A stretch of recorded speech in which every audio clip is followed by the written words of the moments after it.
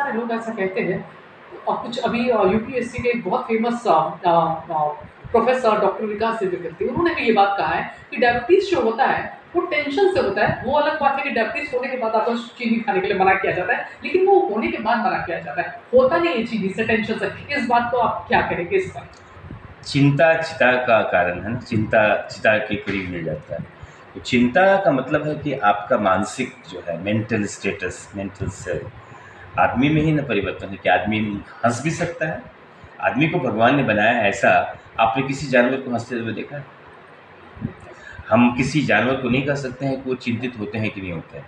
That I don't know लेकिन वो खाना मिलता है तो खाना खाते हैं, अपना काम करते हैं, अपने करते हैं ये दो चीज़ें जो है मानव को दूसरे एनिमल से ऊपर बनाती है। एक चिंता, सोचने की शक्ति। सोचने की शक्ति भी ज़रूरी है बट पॉजिटिव थिंकिंग आप जब निगेटिव थिंकिंग करते हैं तो उससे आपका नेगेटिव असर ही बॉडी पर होता है।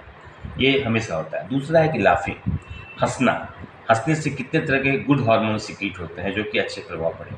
सबसे ज़्यादा है कि जब आप टेंशन होते हैं तो शरीर के जितने सेल्स हैं, जितने ये हैं, वो भी टेंस हो जाते हैं और अभी सी मैंने ब्रेन से बहुत तरह के हार्मोन निकलते हैं जिसका कि दुष्प्रभाव होता है, जो कि ब्लड प्रेशर बढ़ा सकता है, वो शुगर का बढ़ा सकता है। इसलिए शुगर का ब्लड प्रेशर का हार्ट डिज़ीज़ का, ये सब का मेन कारण तो चिंता भी हो जाता है।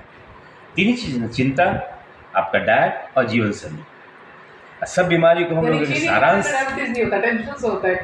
चीनी खाने से डायबिटीज़ होता है ऐसा नहीं है। आप जितना खाते हैं आप अगर मान लीजिए कमाई कर रही हैं नौकरी कर रही हैं जितना रुपया कमा रही हैं तो रुपया कमाने से क्या ब्लैक मनी होगा? रुपया कमाइए खर्चा कीजिए। रुपया कमाइए खर्चा कीजिए। हम अच्छे ही मैं बोल रहा इस तरह से आप खाना जो खा रही हैं इस कैलोरी को वेस्ट कीजिए। Don't conserve extra calorie extra calorie या एक्स्ट्रा फैट वो जो एक्स्ट्रा कैलरी है, वो कन्वर्ट होगा आपका फैट सेल में. फैट हो जाएगा डिपॉजिटेड इन शरीर. पूरे बॉडी में शरीर जमा होगा. वो आपके सब कट सबकुटेनियस स्पेस में जमा होगा. आपके लीवर में जमा होगा. लीवर में जमा होगा तो लीवर सेल ठीक से काम नहीं करेगा. मसल्स में जमा होगा तो मसल सेल ठीक से काम नहीं करेगा. हार्ट के सेल में जमा होगा तो हार्ट सेल काम नहीं करेगा.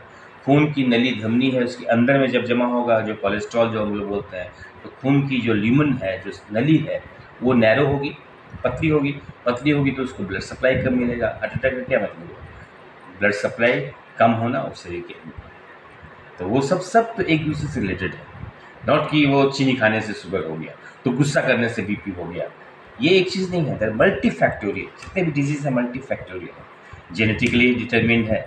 हमारा क्या है इंडियंस जो है साउथ ईस्ट एशियन जितने भी हैं दे आर जेनेटिकली या रेशियल प्रोन है टू डेवलप डायबिटीज़ ये भगवान ने इसलिए बनाया कि ये फेमिन रेजिस्टेंस क्योंकि इस एरिया में ज़्यादातर खेती होता है कृषि पर निर्भर। ज़्यादा फैट का फ़ूड है, ज़्यादा सॉल्ट है, ज़्यादा फास्ट फ़ूड वगैरह है तो सब, सबसे कैलोरी ज़्यादा जनरेट हो रहा है और स्टोर हो रहा है और जितनी तरह की बीमारियाँ हैं, सब तरह जग पैदा कर रहा है।